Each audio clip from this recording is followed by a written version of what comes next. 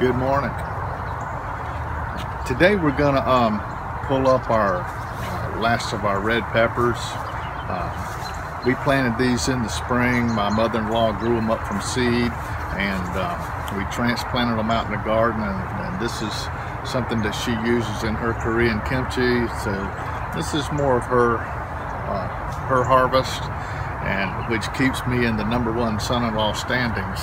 So I don't want to violate that the um, storm that came through a couple weeks ago, uh, Joaquin, it was offshore just south of us, but there was a uh, stall low pressure system over our area, which dumped about 10 inches of rain on our garden with 35 mile an hour winds. And as you can see, it tore up what was left of the um, peppers. It bent them all over.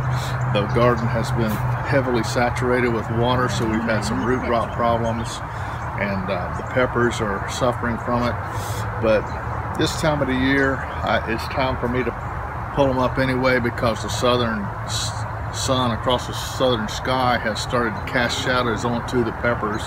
So they're not going to make it more than another couple of weeks anyway.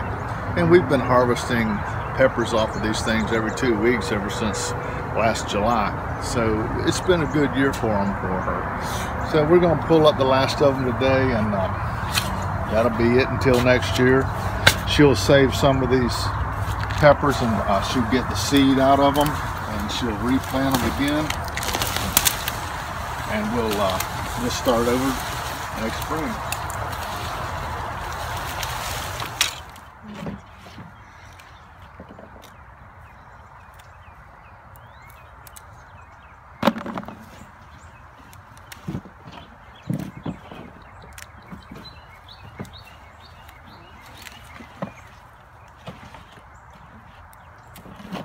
Okay, we got okay. the uh, peppers harvested, and, and as you can see, she got a she got a few bags out of what all was left. All right, Number one son-in-law, right? oh yeah. Okay.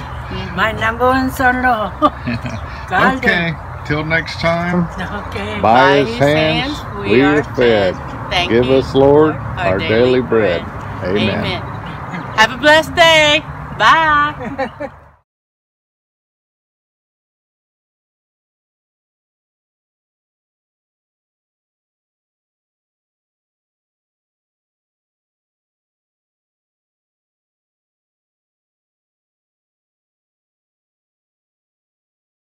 Thank you for watching our videos. We love making them. If you like the videos, please press like and press subscribe to get free new videos.